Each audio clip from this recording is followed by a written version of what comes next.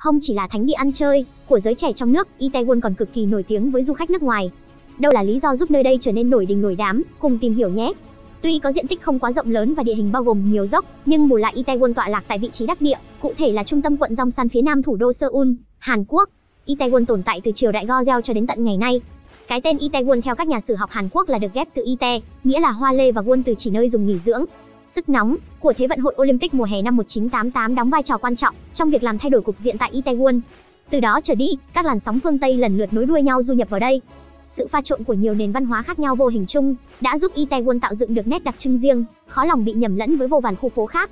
Đến với Itaewon, bạn có thể dễ dàng bắt gặp hình ảnh những nhà hàng, quán nước, cửa hiệu thời trang hay showroom của các thương hiệu nước ngoài. Tuy tiền thuê mặt bằng khá chát nhưng mức giá tại đây lại cực kỳ đa dạng, đảm bảo đáp ứng được nhu cầu của tất tần tật, mọi đối tượng khách hàng bất kể là bình dân hay cao cấp đi chăng nữa. Đầu năm 2020, khu phố này còn bay xa, hơn nhờ thành công của bộ phim truyền hình mang tên Itaewon Class, tên tiếng Việt, tầng lớp Itaewon.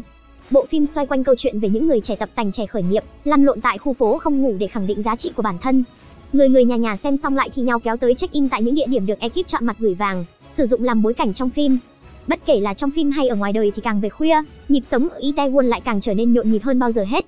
Những không gian bung xóa, lý tưởng của giới trẻ như quán bar hay club tiếp khách xuyên đêm. Không ngoa khi nói rằng khoảng thời gian từ 23 giờ đến 3 giờ sáng là giờ cao điểm ở nơi đây. Chính vì lẽ đó mà chưa cần đến lễ hội thì Itaewon ngày thường cũng đã chật kín người. Một địa điểm có khả năng đáp ứng các nhu cầu từ A Z thì việc được chọn làm điểm dừng chân của nhiều người cũng là điều dễ hiểu thôi. Còn bạn thì sao? Đã từng đến khu phố ngàn năm phồn thịnh này chưa? Hãy chia sẻ ý kiến cùng chúng tôi nhé!